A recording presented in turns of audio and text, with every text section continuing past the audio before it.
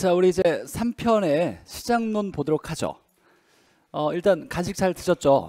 어, 여러분도 합격하시고 감사한 마음을 내년에 수강생을 위해서 조금 더 여유를 베풀어 주시면 좋겠고 일단 감사하니까 34회 김봉님이 김봉님이라는 분이 계세요. 아주 똑부러진 분이신데 그분께서 이제 특강 있다고 해서 어, 간식 보내주셨으니까 감사한 마음은 좀 가져주시고 사랑합니다, 김봉님 씨. 3편 보죠. 시장론.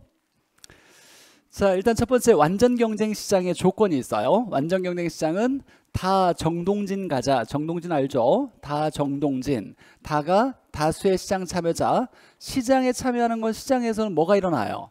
수요와 공급이 일어나니까 시장 참여자는 수요자 공급자를 얘기하는 거죠. 수요자 공급자가 많다. 자, 정자는 정보가 완전히 공개되어 있다. 이 정보의 완전 공개를 정보의 완전성이라고도 하고 자, 정보가 완전히 공개됐으니까 수요자 공급자가 거래할 때 정보를 똑같이 알고 거래할 가능성이 높겠죠.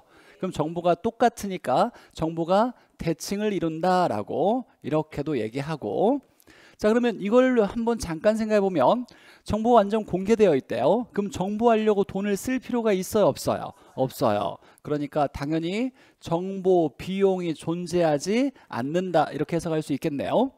자 제어가 동질하다.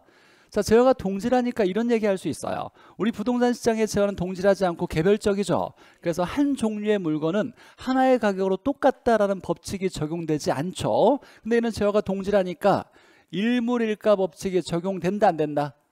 일물일가 법칙이 적용이 된다. 얘는 동질하니까 일물일가 법칙이 적용이 되는 거예요. 근데 우리 부동산 시장은 개별성 때문에 일물일가 법칙이 적용되지 않는데 얘는 지금 완전 경쟁 시장을 얘기하는 거죠. 자, 진입과 퇴거하는데 어려움이 없이 진퇴가 자유롭다. 그래서 완전 경쟁의 조건이 다 정동진. 일단 완전 경쟁이라는 말을 딱 보는 순간 이 단어를 해석할 수 있어야 돼요. 경쟁이 완전히 많이 있는 거예요. 경쟁이 엄청 많이 있는 거예요. 경쟁이 완전하게 많이 있더라. 자 그러면 시장에서 경쟁이 일어나면 뭔가 초과 이윤이 있으면 이걸 차지하려고 어마어마하게 경쟁을 많이 한다는 얘기죠. 그럼 마지막에는 야 난 초과 이윤이 없어도 돼. 그냥 일한 대가 정상적인 이윤만 가져가도 내가 할 거야라는 사람이 등장하게 돼 있어요. 그러면 경쟁이 엄청 많으면 초과 이윤이 존재한다 안 한다? 안 한다. 초과 이윤이 소멸되는 시장이 완전 경쟁 시장이에요. 완전 경쟁 시장은 초과 이윤이 존재하지 않는다요. 이 내용이 이제 우리 학교에서 계속 등장하는 거고 그러면 얘를 배운 이유는 얘 자체도 중요하지만 이걸 통해서 우리 부동산 시장은 부동산 시장은 완전이다 불완전이다 불완전이다 불완전 경쟁 시장이니까 어떤 특성을 가지고 있느냐를 해석할 수 있어야 돼요. 다수가 아니라 소수의 시장 참여자가 있을 거고 정보가 완전하지 않고 불완전하다. 정보가 불안정하다. 정보에 불완전성이 있을 거고 불완전하다라는 건 자, 완전하다는 건 공개됐다는 얘기예요. 불완전하니까 숨겨져 있다는 얘기죠. 정보의 비공개성이라고 하고 정보를 알기가 어려우니까 수요자 공급자가 거래할 때 똑같은 정보를 알고 거래하기가 어려워요. 정보의 비대칭성이라고 해요. 비대칭성. 그럼 정보가 숨겨져 있으니까 부동산을 거래할 때는 정보를 알려고 돈을 많이 쓰겠네. 그러니까 정보 비용이 크다 작다 크다. 정보 비용이 많이 들어갈 수 있겠다라고 해석할 수 있어야 되고 자, 제어가 동질하지 않고 뭐하다? 개별성이다. 개별적이다. 그래서 일물일가 법칙이 적용되지 않는다. 진퇴가 어렵다. 여러 가지 법적 규제와 그 다음에 고가를 띄고 있어서 사기도 어렵고 또 거래가 장기성을 띄어요. 내가 팔려고 내놨지만 바로 팔리지 않을 수 있죠. 시간이 오래 걸려. 1년이 걸려도 안 팔릴 수 있잖아요. 그러면 이걸 팔고 시장을 빠져나가고 싶어도 쉽게 빠져나가기가 어려워요. 그래서 하나 좀 더 해석할 건 매매가 단기를 띈다, 장기성을 띈다, 장기성을 띄더라 라는 거 이걸 해석할 수 있어야 돼요. 그러면 경쟁이 완전 많으면 초과연이 없어진다 그랬어요. 근데 얘가 경쟁이 불완전하게 일어난대. 불완전 경쟁 시장이잖아요. 그럼 얘는 초과윤이 있어 없어? 있어요. 초과윤이 존재하게 되는 거예요. 초과윤이 존재한다. 이 초과윤을 얻으려고 하는 행동을 뭐라고 한다? 투기라 그래요. 투기가 일어날 수 있다. 이걸 다른 말로 얘기할 때 이걸 독과점이 일어났다라고 얘기해요. 독과점. 그래서 소수나 하나가 공급자가 되면 독과점 시장이 되죠. 불안정 경쟁 시장을 다른 말로 독과점 시장이라고 얘기해요. 이게 이제 1년 내내 계속 배우는 내용이에요. 이 암기 코드만이 아니라 암기 코드를 활용해서 부동산 시장의 특성과 각각의 용어의 의미를 해석할 수 있어야 돼요. 우리가 학계론의 개념을 잡는 건 용어부터 출발한다 그랬어요. 용어에 많은 개념이 들어가 있으니까. 자, 그다음에 이제 효율적 시장 이론에서 정보를 분석할 때 자, 기술적 분석이라고 나오는데 이 술은 언제 먹었다? 과거에 많이 먹었다. 과거를 역사라고 얘기해요. 역사를 분석하는 것을 기술적 분석이라고 하고 자, 이거 말고 기본적 분석이 있죠. 자, 기본적 분석은 과거부터 현재까지 알아내는 걸 기본적 분석. 기술적 분석은 과거를 분석하는 거, 역사 자료를 분석하는 걸 기술적 분석. 잠깐 한번 보죠. 우리가 효율적 시장을 세 개로 구분해요. 약성, 그 다음에 준강성, 그 다음에 강성 이렇게 구분해요. 약성은 과거 정보가 반영된 시장, 중강성은 과거 현재가 반영되고 강성은 과거 현재 미래 모든 정보가 반영된 시장이죠. 우리가 이제 알아야 되는 건 어떤 시장에서 반영된 정보를 알고 투자하면 초과이익 얻을 수가 없고 반영되지 않은 정보를 알고 투자해야 초과이익 얻을 수가 있다. 이런 내용이었어요. 자 그런데 약성 과거 반영돼 있어요? 중강성 과거 반영돼 있어요?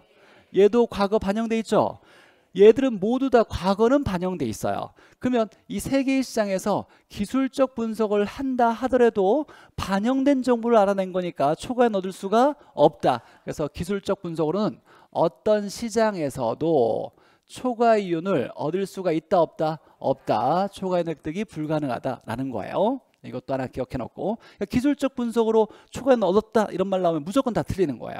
기술적 분석은 어떤 시장에서도 초과는 얻을 수가 없다. 자, 정보 현재 같이 우리 계산 문제 할 때 차안을 땡긴다, 차안이 땡긴다, 차안 땡 이렇게 외웠죠. 자, 금액 차이에다가 개발이 안 될 확률을 곱하고 땡긴다는 건 미래 값을 현재로 당겨오는 걸 땡긴다. 이걸 다른 말로 뭐라고 하냐면 할인한다라고 얘기하는 거예요. 그래서 할인, 현재 가치를 구하려고 할인한다. 정보에 값어치를 구하는데 야 정보가 얼마의 값어치가 있어 이걸 구할 때 현재 값으로 구할 때 차 안을 땡긴다 차 안 나누기 1 플러스 R의 n승으로 나누는 걸 할인이라고 하죠 이건 뭐 수천 번 배울 거니까 학계론에서 1 플러스 R의 n승으로 나눈다 이 R은 이자율이나 이자율이나 이걸 할인율이라고 하는데 앞으로 이제 오늘 계속 나올 거예요 요구 수익률을 뭘로 쓸 거냐면 할인율로 쓸 거예요. 할인율. 할인율이에요. 요구 수익률을 할인율로 쓴다. 이때 R은 퍼센트가 없는 없는 할인율 요구 수익률을 얘기한다라고 엄청 중요해요. 이따가 계속 설명할 거예요. 요구 수익률을 할인율을 쓴다. 할인율로 일반적으로 뭘 쓴다? 요구 수익률 쓴다. 자 그러면 11월 12월 달에 배웠으니까 자 요구 수익률은 두 개의 합으로 일반적으로 구성되어 있어요. 요구 수익률은 두 개의 합. 시간만 지나면 얻을 수 있는 수익률에다가 위험이 커지면 어 더 많이 벌어야지 라고 생각하는 이 수익률이 있죠. 이 하나가 얘가 무위험률 위험하지 않는 수익률이죠. 시간만 지나면 얻을 수 있는 거. 그 다음에 위험의 커짐에 따라서 높여주는 수익률 위험 할증률 이렇게 두 개의 합이죠. 우리 일반적으로 생각할 때 전혀 위험하지 않는 위험하지 않는 수익률은 뭐가 있어요? 은행에 맡기면 위험하지 않잖아. 은행 망하지 않으니까. 그럼 뭘 줘요? 이자를 줘잖아요. 이자 수익을. 그래서 얘는 뭘 얘기하냐면 금리, 대출 금리, 시장 금리를 얘기하는 거야. 이자율을 얘기하는 게 보통 무위험률. 자, 이뿐만 아니라 뭐 국채 금리도 쓰는데 중요한 건 금리가 무위험률에 해당되는 거고 얘는 위험에 따라서 높여주는 거죠. 라는 거. 이따가 다시 나올 거고 자 어쨌거나 이 R은 요구 수익률 퍼센트 없는 걸 쓴다 잠깐 한번 우리 연습 한번 해보죠 만약에 문제가 이렇게 나왔어요 자 2년 후에 2년 후에 개발이 되면 2억 4천 이렇게 나왔어 2억 4천 2백만 원이다 이렇게 나왔고 만약에 개발이 안 되면 1억 2,100만 원이다. 이렇게 이렇게 나왔어요. 개발될 확률이 40%다 이렇게 나왔고 이때 요구 수익률은 10%를 적용하더라 이렇게 나왔어요. 자 이렇게 나왔을 때 이렇게 딱 나오면 그냥 딱 바로 30초도 안돼 답 찾아낼 수 있어야 돼요. 자 그러면 정부 현재 가치가 얼마냐라고 했을 때 자 금액 차이죠. 금액 차이 공 6개 없애버리면 6개 없애버리면 2, 4, 2에서 1, 2, 1을 빼면 차이가 얼마? 1, 1이죠. 1, 2, 1 금액 차이 자 개발이 될 확률이 40%니까 안 될 확률은 얼마? 60%인데 여기는 퍼센트 원이 아니라 몇 원으로 끝내야 되니까 퍼센트를 떼어줘서 0.6. 자 그 다음에 1 플러스 R로 나눠줘야 되겠죠. 요구 수익이 10%니까 R은 얼마로 적용한다? 0.1%뗀 거죠. 그럼 1 플러스 R은 얼마? 1.1. 몇 년을 당겨야 된다? 2년. 그래서 2승. 이렇게 계산하면 얘가 60 이렇게 나올 거예요. 그럼 얼마? 6천만 원이라고 계산할 수 있어야 돼요. 자, 정보 현재 가치 우리 계산 문제 중에 가장 손쉽게 풀 수 있는 것 중에 하나죠. 차안을 땡긴다. 차안 땡 이렇게. 자, 학자별 지대 이론. 자, 이건 아직 안 배웠어요. 초생들은 사실 배운 적이 없어가지고 좀 어렵겠지만 우린 다 재생이니까 네, 익숙하죠. 외워야 돼요. 자, 시작론에서 이제 뒷부분이 17명의 학자가 나와요. 17명을 다 외워야 돼요. 근데 이제 34회는 사실 이렇게 연결, 연결은 잘 시켜놓고 내용을 좀 물어보게 내왔어요. 문제가 어렵게 나왔어. 보통 그전에는 이렇게 차액지대 얘기하는 사람이 리카도 맞아? 이것만 알아도 답을 찾을 수 있는 지문들이 문제가 많았는데 좀 어렵게 어려워지고 있는 추세죠. 내용은 사실 어, 수업 중에서 자세히 배우도록 하고 한번 보죠. 일단 익숙하게 리카도라는 학자 차액지대 절대지대 마르크스, 위치지대 튀넨, 알론소 입찰지대, 준지대 마샬, 경제지대 파레토. 사람이 앞에 있다 뒤에 있다가 중요한 게 아니에요. 우리 연결시키는 게 중요한 거니까 암기 코드를 이렇게 만들었어요. 잠깐 한번 내용을 아주 간단하게 한번 잠깐 생각해 보죠. 기억이 좀 안 날 수도 있겠지만 자, 지대는 토지 임대료를 얘기하는데 리카도는 차액이 지대라 그랬어요. 차액은 뺀 금액이죠.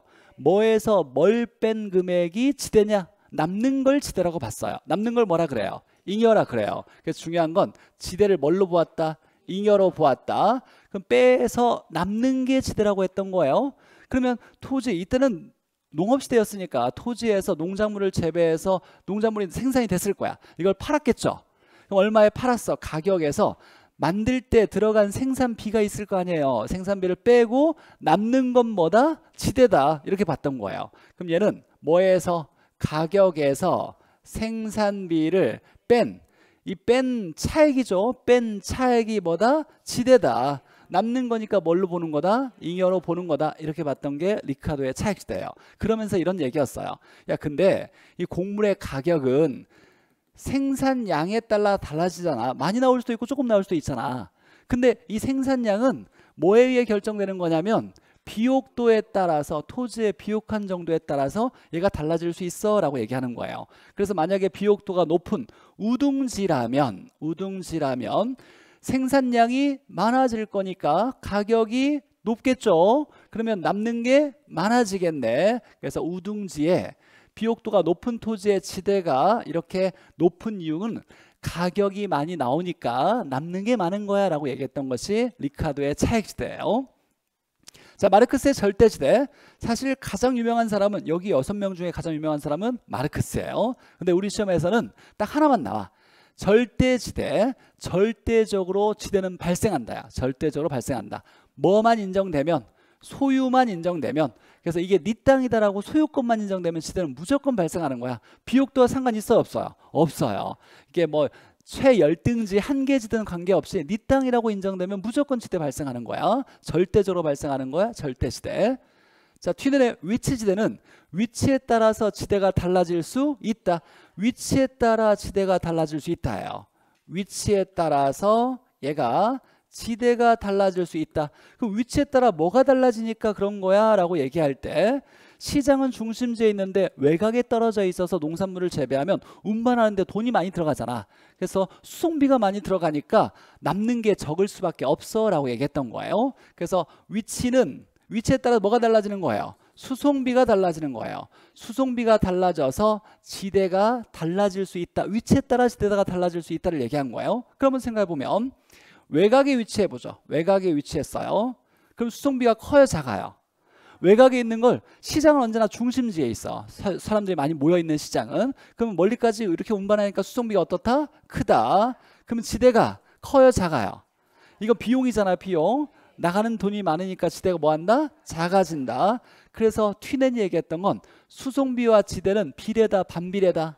반비례를 얘기한 거예요. 이건 이제 어디서 왔냐면 튀넨은 리카도의 제자였어요. 리카도의 제자니까 어, 스승이 얘기했던 게 다 맞는 줄 알았어. 그래서 가격에서 생산비를 빼면 지대인 줄 알았는데 야 마차 타고 왔다 갔다 보니까 비옥도가 똑같음에도 불구하고 지대가 다르대요. 위치가 중심지에 있냐 외곽에 있냐 왜 그럴까를 고민하기 시작하면서 여기에 하나를 더 빼야 되는구나 라고 얘기한 거예요. 뭘 빼야 된다? 수송비예요. 그래서 수송비를 더 빼줘야 지대가 나오는 거야 라고 얘기한 거예요. 그럼 얘가 크면 많이 빼줄 거니까 얘가 뭐 한다? 작아진다. 이렇게 얘기했던 것이 티넨의 위치대예요. 그러니까 위치에 따라서 지대가 달라진다 라고 얘기하는 거고 자 알론소의 입찰 입찰은 경쟁을 얘기하는 거예요 경쟁 경쟁 야 경쟁에 의해서 지대가 발생하는 거야 라고 얘기하는 거예요 경쟁 그러면 서로 차지하려고 경쟁하겠죠 좋은 땅이 있어 서로 차지하려고 경쟁할 거예요 그러면 누가 차지해 돈을 많이 낸 사람이야 조금 낸 사람이야 많이 낸 사람이죠. 돈을 많이 내겠다고 한 사람이 차지하는 것이 경쟁의 원리인 거예요. 그러면 지대는 얼마냐면 돈을 많이 내겠다고 한 금액이 지대가 되는 거예요. 경쟁에 의한 거니까. 그래서 입찰 지대는 한 단어로 뭐라고 얘기하냐면 최대로 최대로 돈을 많이 내겠다고 용이한 제시한 금액을 이걸 입찰지대라고 한다. 최대 지불 용 얘기해요. 경쟁에 의해서 좋은 땅을 차지할 때 돈을 가장 많이 내겠다고 한 사람이 차지하고 돈을 가장 많이 내겠다고 한 금액이 지대가 된다. 여기서 가장 중요한 건 최소예요, 최대예요. 최대요, 최대, 최대. 근데 이때 그냥 무한대로 내가 손해 보면서 돈을 많이 내겠다고 하는 사람 있을까요, 없을까요? 있어 없어 손해 보는데 왜 돈을 내? 안 하지 손해 보면 손해 보지 않아야 돼요. 그러니까 돈을 많이 내는데 손해 보지 않을 정도의 돈을 많이 내겠다는 걸 학문적으로 표현할 때 아까 우리가 경쟁이 있으면 초과인이 존재하지 않는다 그랬어. 서로 차지하려고 하다 보니까 그래서 초과인이 얼마일 때 0이에요. 얘를 이제 기억해 놔야 돼. 어렵게 나온다면 얘가 나올 수 있어요. 최대 지불 용이액인데 그냥 무한대로 많은 돈이 아니라 손해 보지 않을 정도로 해서 이 얘기를 초과이윤이 0이 되는 수준의 최대 지불 용이액이라고 얘기하는 거예요. 자, 준지대 보죠. 준지대. 자, 이 부분이 좀 설명할 게 좀 많아서 시간이 좀 걸리는 건 좀 이해해 주시고 자, 준지대. 지대가 아니죠. 지대에 준한다라는 얘기죠. 그래서 마샬이 얘기했던 준지대는 야 토지에서 발생하는 지대가 아니라 야 기계 설비도 얘가 얘가 일시적으로 일시적으로 만들지를 못한대요. 공급이 안 된대. 그러다 보니까 소득이 발생되는 경우가 있더래요.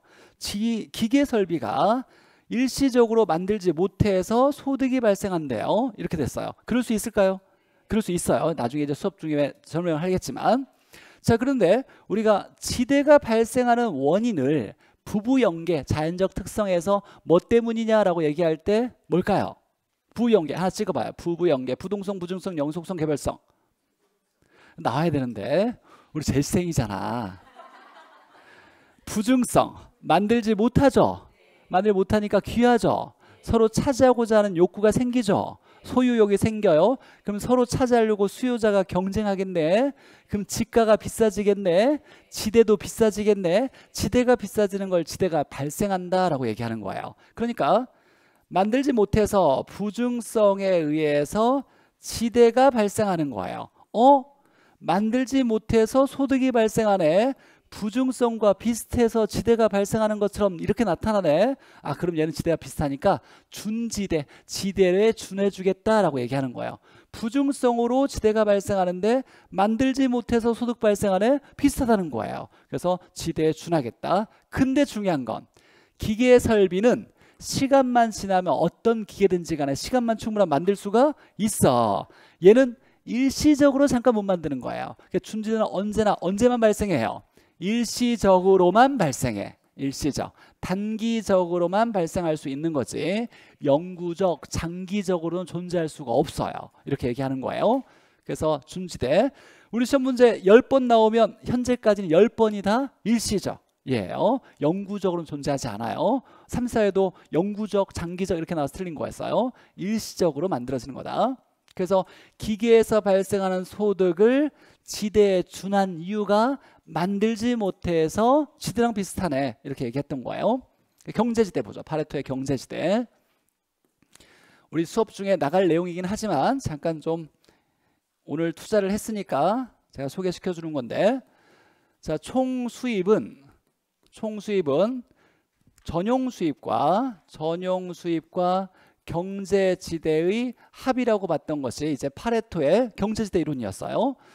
자, 총 수입은 전용 수입과 경제지대인데 전용 수입은 이렇게 적어놔야 돼요. 최소한의 수입을 이걸 전용 수입이라 한다. 얘는 희소성 때문에 발생하는 수입을 경제지대라고 한다라는 거예요.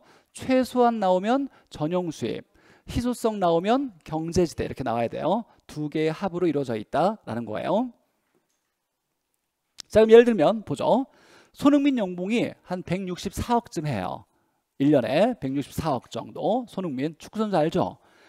총 수입이 그냥 160억이라 해보죠. 160억을 벌어요. 근데 손흥민이 추구하지 않고 그냥 일반 사람처럼 평범한 사람처럼 열심히 일해서 최소한 1년에 어, 직장도 다니고 일반적인 사람 특별한 능력이 없고 일반적인 사람처럼 직장 다니고 저녁에 야간도 알바도 하고 막 해가지고 그냥 예를 들면 최소한 1억은 벌 수 있다고 해보죠. 그러니까 최소한 1억이에요. 아무것도 안 하고 그냥 일반적인 평범한 사람처럼 특별한 능력이 없고 이러면 1억을 버는데 여기에 159억을 더 벌었잖아요.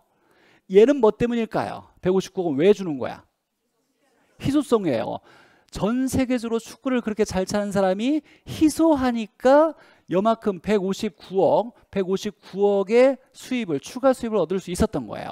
그러니까 모든 수입은 언제나 최소한의 전용 수입과 희소성 때문에 얻는 경제지대 합으로 구성되어 있다라고 얘기한 게 파레토의 이론인 거예요. 제가 그냥 열심히 이렇게 아니에요. 제 얘기 하지 말고. 네. 그렇다는 거예요. 그러니까 우리는 자기만의 어떤 능력이나 가치를 높이기 위해서는 경제지대를 키운다는 얘기의 개념인 거예요. 그냥 평범하게 일하면 연봉 그냥 우리가 한 3천만 원 벌 수 있는데 내가 뭔가 특별한 능력이 있다 남과 차별되는 능력이 있다 그러면 연봉이 높아지겠죠. 어떤 수입이 더 많아지는 거야? 경제지대가 많아지는 거야. 이렇게 연구했던 이론이 파레토의 경제지대, 경제지대 이론인 거예요. 파레토의 경제지대. 자 그래서 이제 암기 코드 한번 연결 쳐 보죠.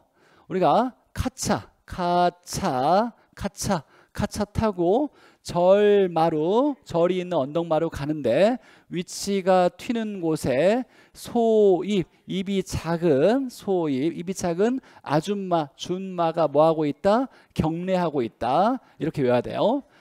그림이 이런 그림이에요. 머릿속에 이런 그림을 연상하면서 자 카차죠 카차. 카차 타고 절이 있는 언덕마루 가는 거예요. 절마루 가는데 위치가 튀는 곳이 있어요. 위치 튀는 곳에 입이 작아. 입이 작은 아줌마처럼 보인다고 해요. 그냥 아줌마가 뭐 하고 있다? 경례하고 있다. 이 그림을 딱 떠올리면서 순서는 틀려도 괜찮아요. 연결시키는 게 중요해. 카 나오면 차 이렇게 나와야 돼요. 절 나오면 마루, 마르크스 나와야 되고 위치 나오면 튀넨. 그다음에 아줌마니까 준마. 소 나오면 소입, 경 나오면 경내 이렇게 공통된 단어는 없어요. 그래서 이렇게 연상하면서 지대 이론을 외워야 돼요. 가차 타고 절마로 가는데 위치 튀는 곳에 소입 아줌마가 경례하고 있다. 그림을 떠올리면서 지대 이론이었고 자 입찰대 곡선의 기울기 자 이건 많이 나오는 건 아닌데 나오면 답이 될 가능성이 높아요. 자 우리가 입찰한다 경매할 때 입찰한다 그런 얘기 하잖아요 입찰 기한이라고 외울 거야 입찰 기한 입찰 기한 입찰 기한은 입찰지대 곡선의 기울기는 한계 운송비와 무슨 관계 이게 무슨 관계예요? A는 B분의 C 이렇게 나올 때 위에는 무슨 관계? 비례 관계. 그래서 얘가 비례 관계다.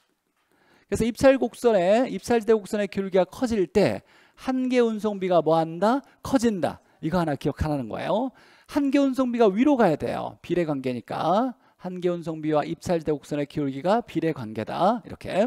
나중에 이제 입찰지대 곡선 기울기를 배울 건데 잠깐 좀 설명하면 자 여기에 지대가 있고 여기가 이제 도심이 있고 외곽으로 갔을 때 단일 도심 토지에서 토지를 어떻게 이용할 거냐에 각각 용도 이용 방법에 따라서 지대 곡선을 그리니까 상업용의 지대 곡선 이렇게 생겼어요.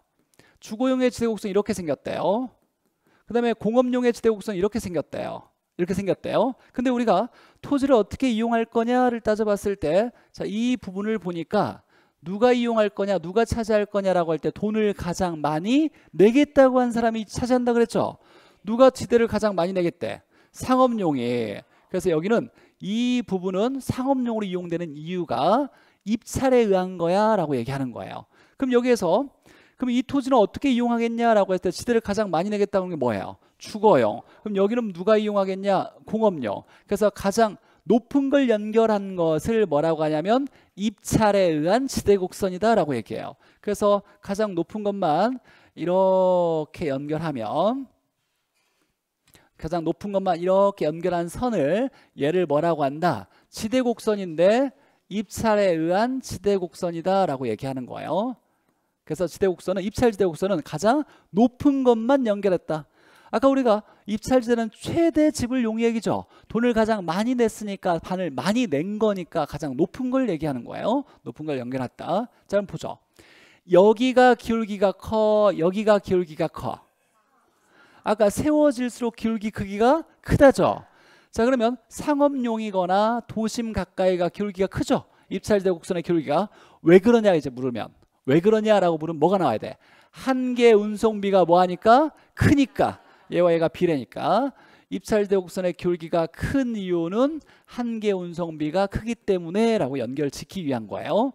나오면 답인데 많이 나오진 않아요. 근데 만약에 나오면 이것만 딱 알고 있어도 답을 쉽게 찾을 거니까 입찰 기한 이렇게 외워놓고 입찰지대 곡선의 기울기는 한 한자가 들어가야 돼요. 한 개 운송비와 비례 관계다. 한 개 운송비. 그냥 운송비라고 하면 안 돼. 한계 운송비와 운송비는 달라요 전혀. 한계 운송비라고 나와야 돼. 한자가 들어가야 한 한계 운송비. 자 마찰 비용 이론. 헤이그라는 사람이 마찰 비용 이론을 제시했어요. 그래서 에이그 또 마찰 빚었냐 이렇게 외웠어요. 에이그 마찰, 에이그 또 마찰 빚었냐 이렇게 헤이그의 마찰 비용 이론. 일단 첫 번째 마찰 비용 이론을 제시한 학자가 헤이그라는 게 중요해요. 에이그, 헤이그, 에이그. 자, 올해도 나왔어요. 3, 4회. 3, 4회 마찰 비용 이론은 마찰은 운동을 방해하는 힘을 마찰력이라 그래요. 운동을 방해할 때 뭔가 하려고 할 때 방해하는 걸 마찰이라고 얘기하죠. 입지를 바꾸려고 할 때, 입지를 변화시키려고 할 때 마찰로 작용하는 게 있어. 두 가지가 지대와 교통비야라고 얘기하는 거예요. 내가 여기서 입지를 바꾸려고 할 때 이쪽이 도심이고 이쪽이 외곽이라고 했을 때 내가 여기서 주거지를 바꾸려고 하든 무슨 입지를 바꾸려고 한다고 해보죠. 이렇게 오면 뭐가 비싸죠? 도심이니까 지대가 비싸지죠. 토지 들어가 비싸져요.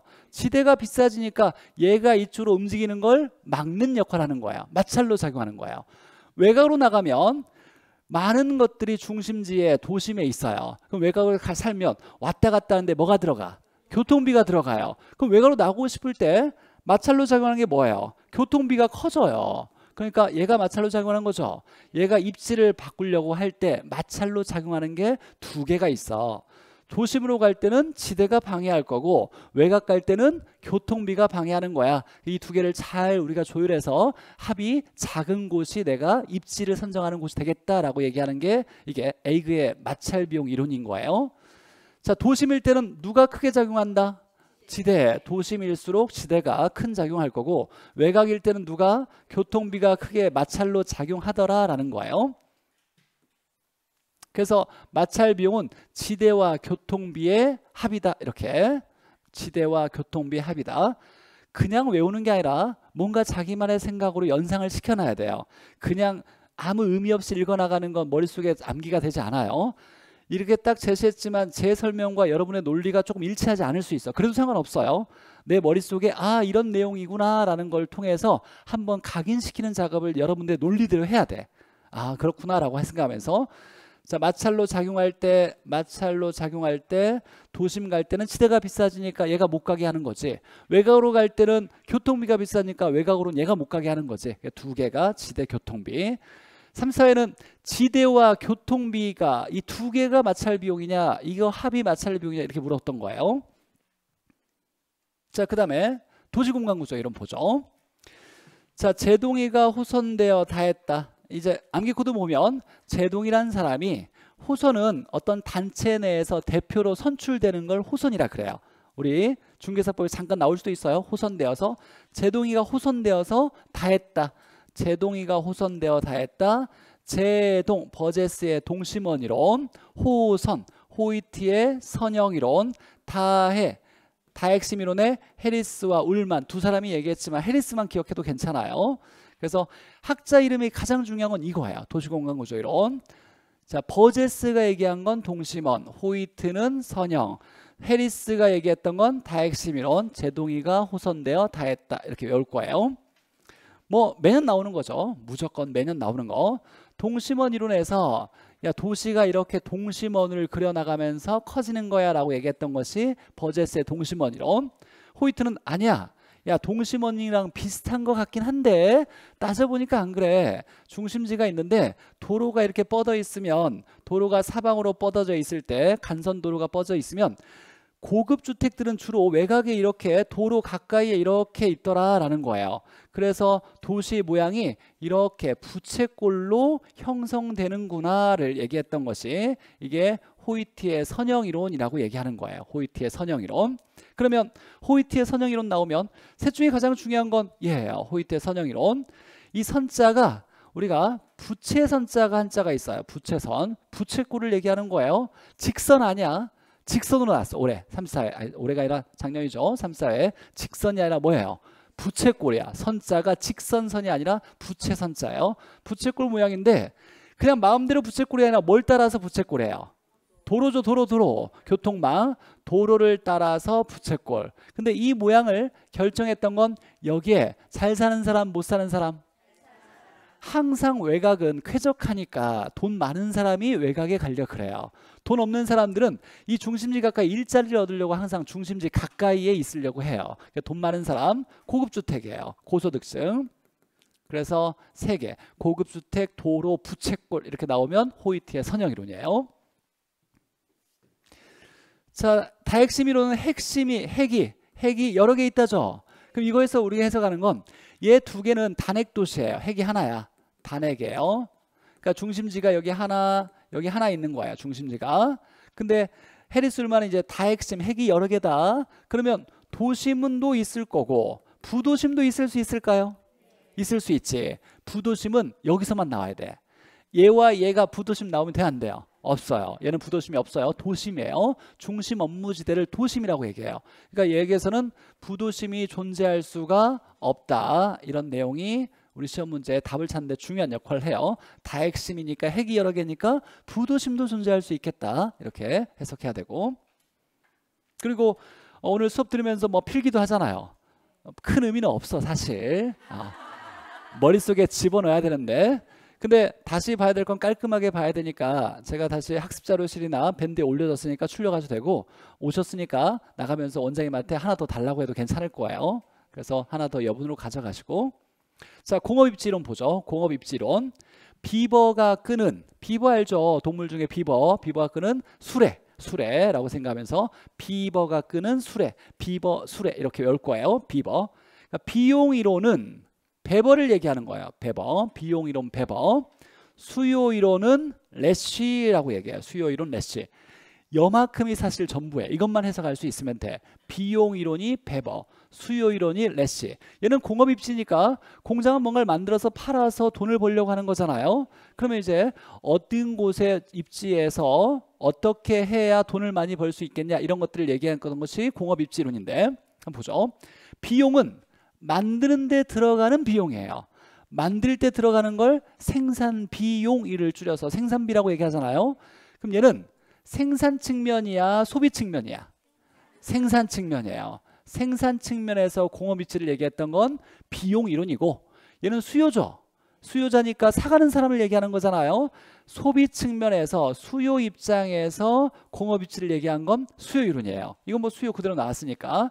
근데 비용은 만드는 데 들어가는 비용, 생산비를 얘기하는 거예요. 자 그러면 비용은 큰 게 좋아, 작은 게 좋아? 나가는 지출 비용을 얘기하는 거잖아요. 그러니까 당연히 최소가 돼야 돼. 그러니까 비용이 최소가 좋더라. 최소 비용 이론이고 수요자는 많아야 좋아요, 적어야 좋아요. 많아야 많이 사갈 거니까 최대 수요 이론이라고 얘기하는 거예요. 중요한 건 비벌을 기억해 놓고 수례를 해석해 놓고 이걸 우리가 용어를 풀이하려고 노력해야 돼요. 용어의 정리. 비용은 생산 측면에서 그러니까 생산 측면에서 공업 위치 설명한 건 배벌을 얘기하는 거고 수요 측면에서 얘기한 건 레시를 얘기하는 거예요. 수요는 많은 게 좋으니까 최대, 비용은 작은 게 좋은 거죠. 최소 비용 이론 이렇게 얘기하는 거고 비버 수레. 자 이때 먼저 얘 먼저 보죠. 그 다음 거 베버의 최소 비용 이론에서 자 비버라고 외웠어요. 비버. 비용 이론은 베버.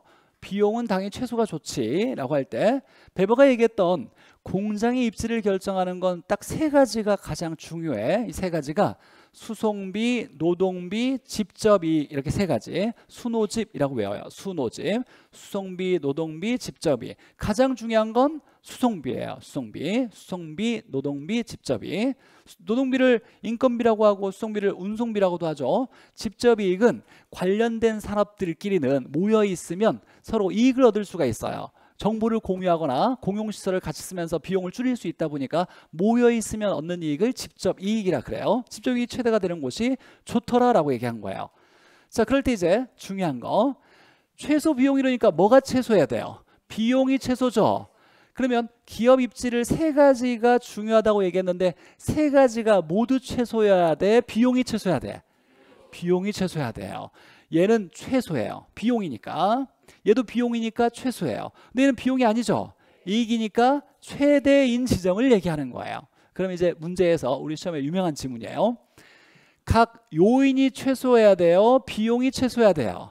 비용이 최소해야 돼요. 각 요인이 최소라고 하면 안 된다. 각 요인이 최소가 아니라 비용이 최소가 돼야 된다라고 얘기하는 거예요. 최소 비용 이론에서 자 그러면서 이제 원감이라는 게 있는데 이 원감 우리 어린이집에서 원장 밑이 원감이에요. 원감, 원장, 원감 이렇게 있어요. 자, 원감이라고 했을 때 원료 지향형, 원료 지향형은 중량 감소 산업이다 라고 얘기하는 거예요. 원감. 자, 배번은 비용 중에서 가장 중요한 건 무슨 비용이냐면 수송비가 중요해. 그래서 비용 중에 가장 우선시한 건 수노 집중에 얘가 가장 중요하다 라고 얘기한 거예요. 수송비가. 그럼 수송비가 줄이는 게 좋겠죠. 근데 원료가 엄청 크고 무거워. 그럼 공장과 즉 원료 산지와 공장이 멀리 떨어져 있으면 원료 산지에서 원료를 캐서 무거운 걸 운반하는데 돈이 너무 많이 들어가잖아요. 수송비가.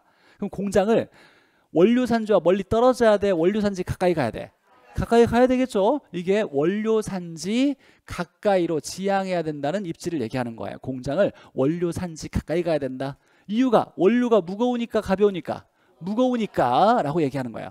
원료가 엄청 무거워요. 원료가 엄청 무겁다.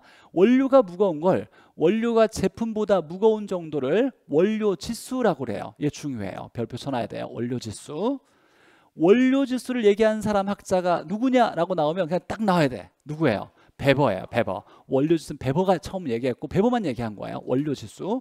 원료 지수가 원료가 무겁다라는 건 일이 중요한 게 아니라 일보다 뭐하다? 크다가 중요한 거예요. 일보다 크면 원료가 무거운 거다라고 얘기하는 거예요.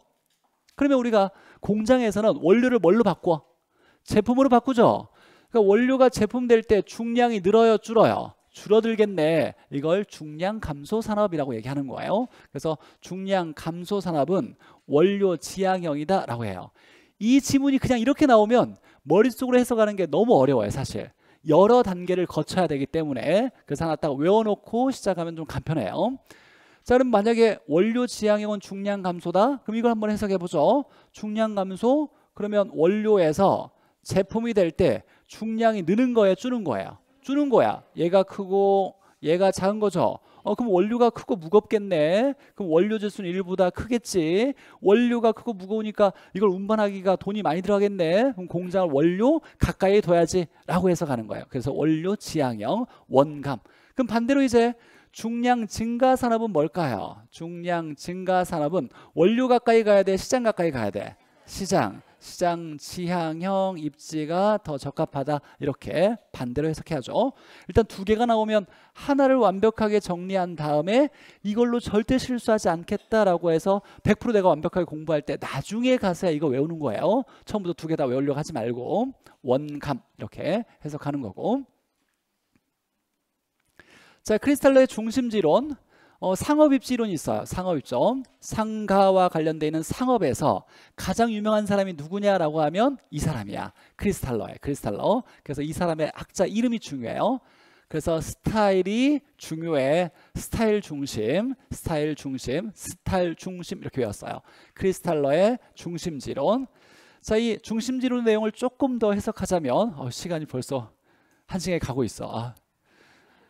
자, 어찌되거나 이 중심지를 얘기했다가 중요한 게 아니에요. 크리스탈의 중심지로는 중심지의 뭐와 형성과 중심지의 계층을 연구한 이론이다. 이게 중요한 거예요. 중심지의 형성이 나왔다. 또는 중심지의 계층이 나왔다. 그럼 누구예요? 크리스탈러, 스타일, 중심 딱 나와야 돼요. 이 중심지 형성과 계층은 뭐냐면 먼저 계층 먼저 보죠. 중심지라고 다 똑같은 중심지가 아니라 고차 중심지도 있고 그 다음에 저차 중심지도 있어. 규모는 누가 클까요? 당연히 고차가 크겠지. 그래서 얘를 백화점쯤이라 해석했고 얘를 편의점쯤이라 생각했던 거예요. 그러다 보니까 고차와 저차 중심지의 여러 가지 특성이 달라. 계층이 나눠져 있는 거야. 그냥 무조건 다 똑같은 중심지가 아니라 고차 중심지의 특성, 저차 중심지의 특성이 다 다르게 나타나 있어. 이런 걸 중심지의 계층 구조라 그래요. 하나 중요한 거 한번 보죠. 구매 빈도는 누가 많을까요? 고차가 많아 저차가 많아? 저차가 많아요. 얘는 백화점쯤이라고 이해했고 백화점은 크고 좋은 거 가끔 비싼 거 이런 걸 가끔 가서 사는 거고 얘는 생필품 사러 자주 가는 곳이 저차 중심지를 얘기하는 거예요. 그래서 구매 빈도는 얘가 크다 규모는 얘가 크고 이런 걸 이제 계층 구조라고 하고 중심지가 형성되려면 34에 나왔죠. 크리스탈의 중심지론이 자 얘가 최소 요구 범위가 있고 재화가 더 이상 팔리지 않을 때까지의 끝까지의 거리를 재화 도달 범위라고 얘기해요. 누가 커야 돼? 얘가 커야 돼, 얘가 커야 돼. 형성되려면 중심지가 유지가 되려면 재화 도달 범위가 더 커야 된다. 무조건이에요. 학계론에서 요구라는 말이 나오면 무조건 작아야 뭔가 일이 일어나요. 요구가 작아야 일이 벌어지는 거예요. 예를 들면 우리 투자론 배웠으니까 기대 수익률과 요구 수익률 중에 누가 커야 투자가 일어나요? 어, 그렇죠. 예, 커야죠. 요구가 들어가면 작아야 뭔가 일이 발생하는 거예요. 요구가 들어가면 작아야 된다. 이렇게 돼야 중심지가 형성된다. 이게 중심지 형성 조건을 얘기하는 거예요. 그래서 스타일 중심, 중심이 나오면 중심지의 형성과 계층 얘기한 거. 중심지라는 말은 많은 학자들이 썼어요. 다른 학자들도. 그래서 중심지 나왔다고 이거 크리스탈러의 중심지 이론이다 이렇게 얘기하면 안 돼요. 중심지 뭐가 나와야 되냐면 형성과 계층 이렇게 나와야 된다. 자, 컨버스의 분기점 이론 보죠. 자, 분기점은 경계를 얘기하는 거예요. 경계, 경계. 유인력이 똑같은 지점을 즉 두 개의 도시에서 유인력이 똑같은 지점을 경계 분기점이라 그래요. 이거 암기할 때 암기 코드 안 넣었지만 이렇게도 외울 수 있어요. 버스 분기점, 버스 분기점, 버스 분기점, 버스 컨버스 분기점 이론. 자, 외워야 될 건 경작이에요. 경작. 경계 분기점은 어느 쪽에 있다? 작은 도시에 가까운 쪽에 있다. 여기 도시가 A 도시고 여기 도시가 B 도시라면 유인력이 A와 B가 잡아당기는 힘이 똑같은 경계는 정 가운데서 어느 쪽? B 쪽에 있어야 돼요. 여기가 경계. 그래서 작은 도시 가까운 쪽에 경계가 만들어진다. 경작, 경작. 경계는 작은 도시. 자, 넬슨의 소매입지 이론. 얘는 뭐 단어에 다 들어가 있어요. 자 일단 암기 코드는 낼름거리는 소임 소임이 낼름거린다. 낼름 소임 낼름거리는 소입. 이렇게. 소매점은 소비자에게 물건을 직접 파는 점포를 소매점이라 그래요. 그래서 소매점 다른 말로 점포라 그래요. 점포가 어디에 입지해야 되냐? 위치한 장소를 입지라 그래요. 뭐 하려면? 돈을 벌려면 최대로 이익을 얻려면 점포가 돈을 많이 벌려면 어디에 입지해야 되냐를 여덟 가지 원칙을 제시한 이론이 넬슨의 소매 입지 이론이에요. 소입, 소매, 소매점 점포가 어디에 입지해야 돈을 많이 벌겠냐라는 거예요. 아직 시험 문제 안 나왔지만 여덟 가지 원칙을 다 외울 필요는 없어요. 근데 이 두 가지는 좀 나올 수 있으니까 한번 생각해 보면 점포가 돈을 많이 벌어야 되잖아요. 그러면 보완 상품은 옆에 있어야 돼? 멀리 떨어져야 돼? 치약 팔 때 칫솔 팔면 같이 사갈 거니까 돈 벌 수 있죠. 샤프 팔 때 샤프심 팔면 옆에 있으면 같이 사갈 수 있을 거 아니야. 그래서 보완 상품 뭐 해야 된다? 양립. 양립은 어깨를 나란히 한다, 이웃해 있다, 붙어 있다를 얘기하는 거예요. 모여 있다를 얘기하는 거예요. 자, 경합은 경쟁 얘기하는 거죠. 돈을 많이 벌어야 돼.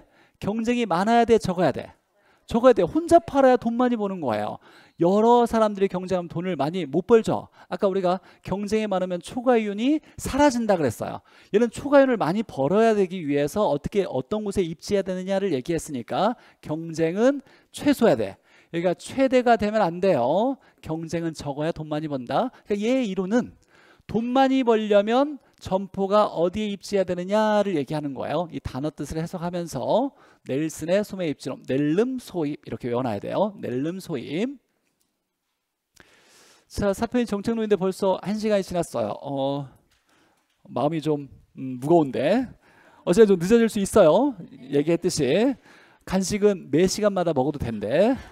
너무 많이 주셨대. 그러니까 어, 영양 보충 하시면서 좀 늦어지는 거에 대해서 감안하시고 쉬었다가 보죠.